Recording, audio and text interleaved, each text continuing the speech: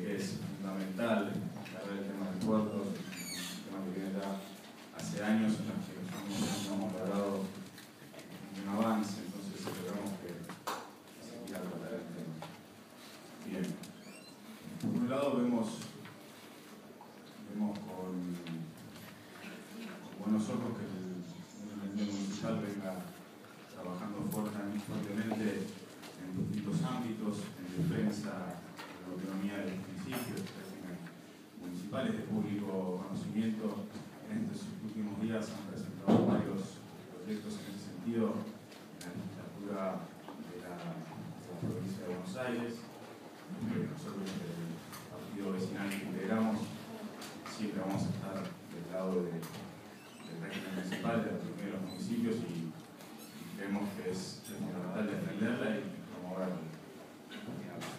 eso nos llama mucho la atención cuando, por un lado, vemos que se defiende y se proclama, la autonomía municipal, vemos que se firma un convenio con la provincia de Buenos Aires, donde justamente lo que se hace es resignar una parte importante de esa, de esa autonomía. Se firma un convenio que muy amplio y muy vago, pero que fundamentalmente deja las deja las condiciones más importantes, como son el armado y la llevar,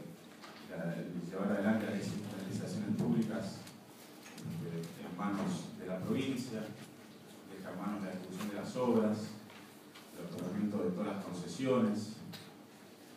Todas estas competencias nos parecen fundamentales a la hora de decidir qué puerto queremos, qué puerto vamos a tener en sentido, queda definitivamente fuera de la órbita del municipio. Y es aquí entonces cuando nos preocupamos y es por eso que vamos a presentar, presentamos este despacho en minoría. Este despacho en minoría nuestra que nos ocurrió, sino que hay argumentos legales, técnicos y políticos para discutir y lograr que efectivamente la administración del puerto de San Isidro sea cedido al municipio. Digo que hay argumentos legales, técnicos y políticos, porque, como ya dije, no es una idea nuestra, no es un argumento puerto ya se expidió en el año 2010 mediante la resolución 26, sí, solicitándole justamente al gobernador de la provincia que tenga bien a ceder el dominio de las tierras del puerto de San Isidro.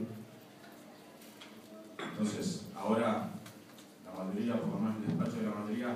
pretende ir en contra de esta resolución que nosotros, el cuerpo con aquella conformación votó y aprobó más de, dos años y medio.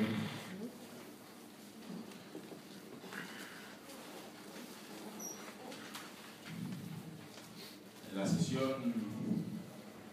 este, del 17 de noviembre de 2010, en la cual se trata y se aprueba esta resolución por una amplia mayoría, con 20 votos a favor, muchos de los cuales,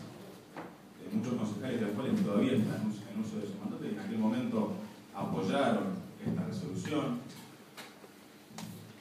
Y ahora preside el Consejo Deliberante, y ahora voy a leer la versión de, aquel, de aquella fecha, textualmente, dice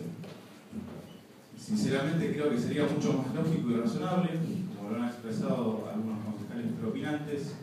que esta zona esté bajo la jurisdicción, el dominio y el manejo pleno de los gobiernos locales. Si estas no son palabras mías,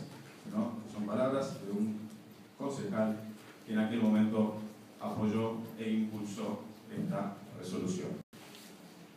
Si nosotros nosotros apoyamos el despacho de la minoría, de la mayoría, vamos a ir en contra de la propia, de la propia resolución que votamos, apoyamos en aquel momento, vamos a ir en contra de la resolución número 26. En definitiva, vamos a ir en contra de la defensa del puerto de San Isidro. Nada más, señor presidente, muchas gracias.